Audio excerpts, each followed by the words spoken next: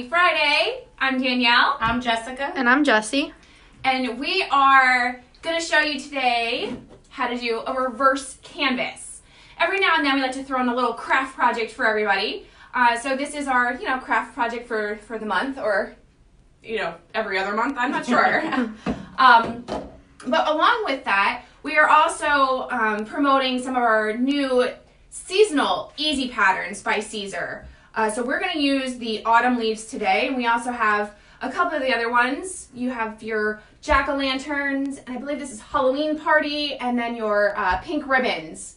So a nice little variety for for this season, and it seems to be something that they'll kind of continue, uh, you know, promoting to do, you know, different patterns per season. So that's definitely something to look forward to uh, for the Siser line. But these are limited, right? Yes, limited edition. So when they are sold out, they are gone. So make sure you stock up and get those. All right, we're good? Yes. Okay.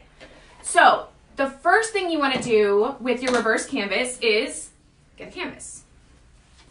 They have, um, these, I got these at a craft store. So what you do, Jesse's zooming in here for me. You're going to just get your X-Acto blade and you're going to trim on this side of your staple. So that way you're separating the canvas from the wood frame. Hi, Jody. Good morning, Barbara. Hello, Cheryl. There's no need to remove the staples because it's going to be on the back side of your frame. And removing these staples uh, could be pretty hazardous, as I attempted earlier. Um, so let's not remove them. Let's just keep them in there. Very tedious and painful. Who needs that in your life? No. Thank you, Nathan. He posted the link to the vinyl so you can find it on the website if you're viewing this on our Facebook Live.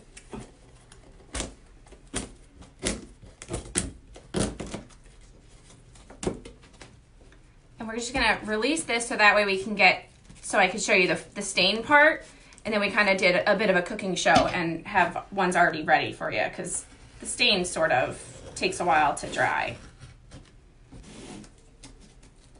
Speaking of cooking, I can't wait to eat. I'm a little hungry. I ate already.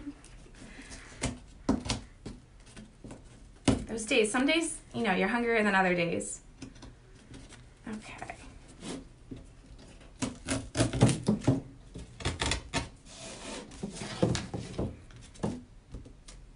It reminds me of those satisfying videos when you watch somebody like doing something. Mm-hmm. Peel. Once you get it going, it's really easy. Now, if I were to remove all these staples, we would be here a whole lot longer. You're just gonna get it so that your canvas releases.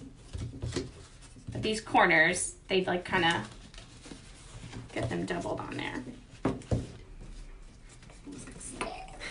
Did I almost hit you? I'm sorry. I don't know. I just saw like the light reflect off at the end of it. I don't know if I was gonna get workman's comp or not. I don't know if it works for Facebook Live. Next time I throw myself. All right. Come on. Little tricky corner.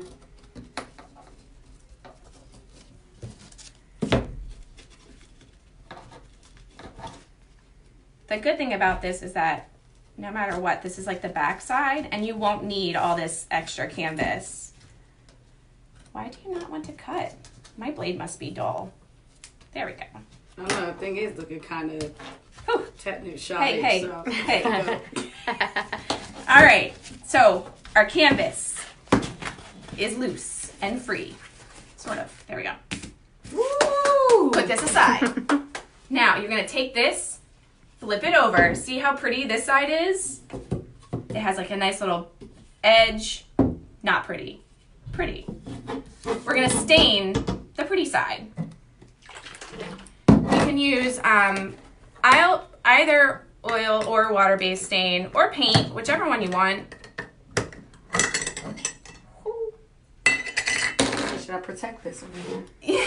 That's all right. We have an extra one, and just Oh my, I didn't wash my brush off, so now it's being really, really quite mushy here.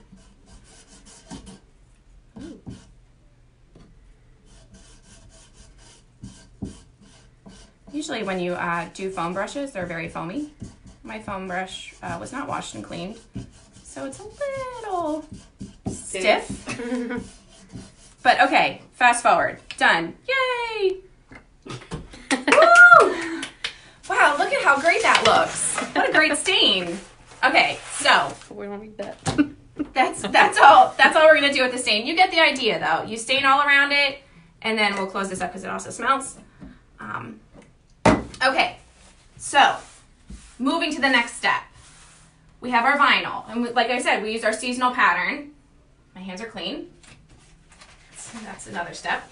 All right, so seasonal patterns. You do not mirror these designs. You cut directly onto the colored side. And we're gonna cut this.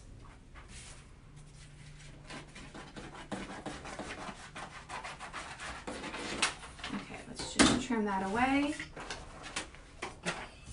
Don't laugh at me, Jess.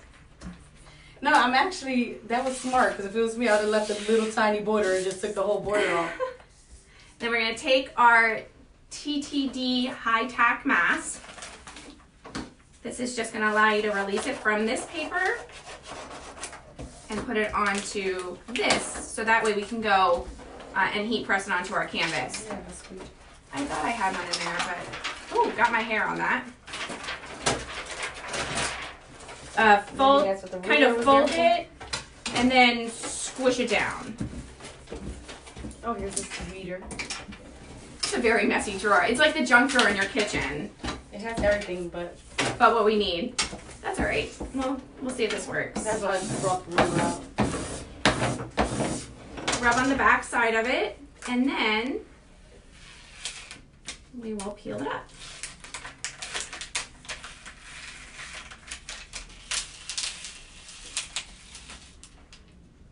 Ooh, that stain does smell. Sorry.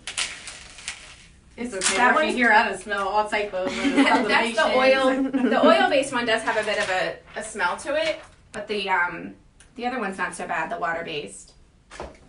Okay. So now we're gonna take our canvas. This you don't really need to be perfect on it, like you know, to make sure it's centered or anything, because you are going to trim it.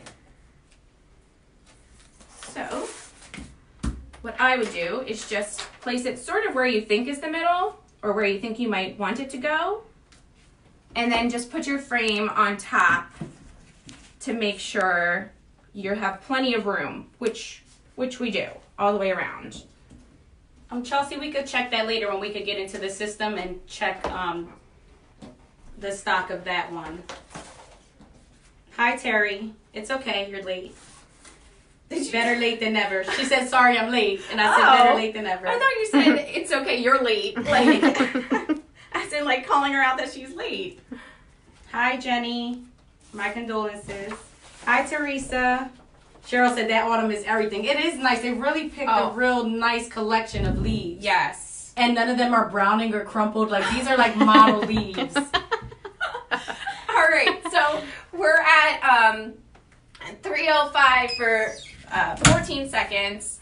Press that up, and then that's going to go onto our canvas. Oh, hey, Butch. Butch is here. I'll just throw this in Danielle's trash. you're so mean to me sometimes. I make her laugh. Oh, that was like a piece of. I got scared. so did I. I was about to that divert attention over here, like. Let's talk more about these patterns. Don't look over There there. was a piece of canvas or some some little piece of paper that got stuck on top of my my sheet, It but was it's, like one of these little it's pieces. all good. So yay, perfect. Okay, so now now the hard slash easy part, I guess, is really just positioning this where we want it.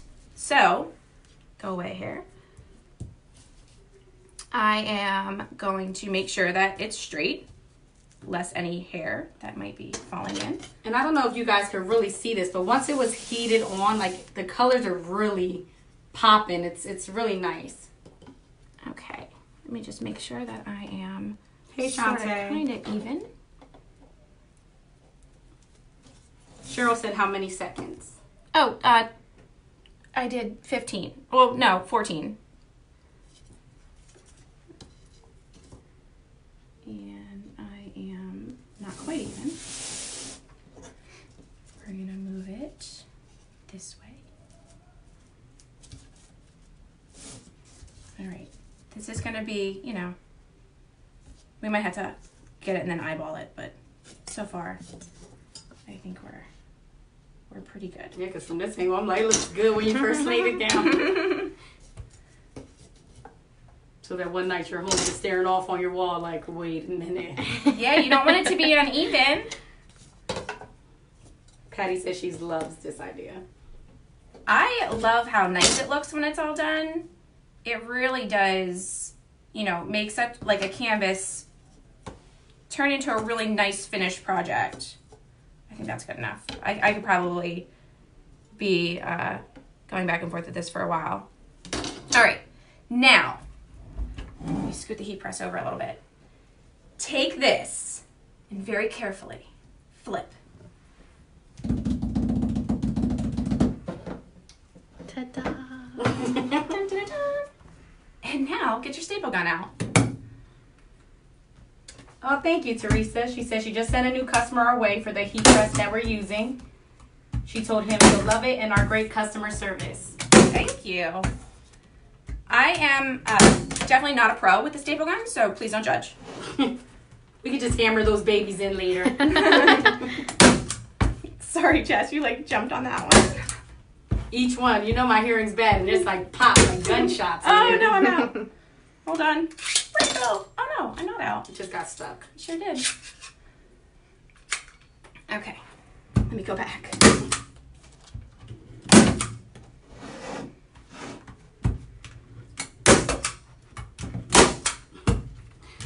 Funny story. One time I broke my flip flop when I worked here, and I had to use the staple gun to staple it back just to oh, get through the rest of the day.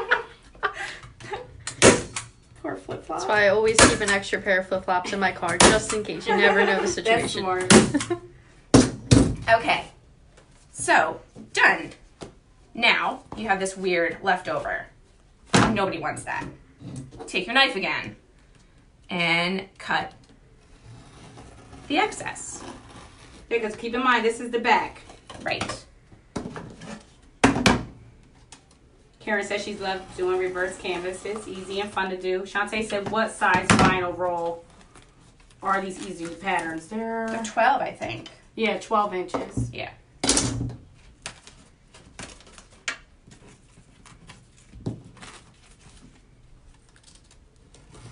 And then once you do this, then you're gonna go back and just kind of tighten some areas. Like put another one there, just to kind of interesting. make it question. settle best. Can you do the canvas and put it on a chair cushion?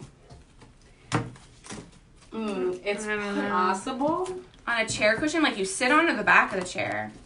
I'm assuming the back of the chair, maybe to decorate it. So you put the vinyl on a chair cushion? Sure. Why not? If it's on the back part, if you want to decorate the back part, I mean, keep in mind, disclaimer, we have not tested this. we don't know for sure if it'll work, but we don't see the reason why it would not work. Unless it's on the bottom part where people are constantly putting friction. Is it straight? It looks a little crooked now that I look at it. It looks pretty good It looks to me. good to me. But I'm on this angle. It looks good. It's just slightly maybe, but it's Slightly it's leaning. not. It's it looks good, I think. But not bad for, you know, a 10 minute craft there. And now it's all done. All right, any other questions? nope, we got it all. All right. Well, of course, if you have any questions, make sure you send us an email or give us a call. And we will see you here next week. Bye, everybody.